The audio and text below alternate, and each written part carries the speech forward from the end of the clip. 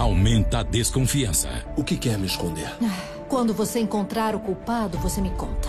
Paola não desiste. Avisa a Paulina que eu quero recuperar meu lugar de primeira dama. Se ela quer recuperar a própria vida, não vai poder se negar. Carlos, desculpe, eu vou ter que sair um minuto. O que? Como? Agora? Paulina acredita que o pesadelo vai terminar e nem desconfia que está a caminho de uma armadilha.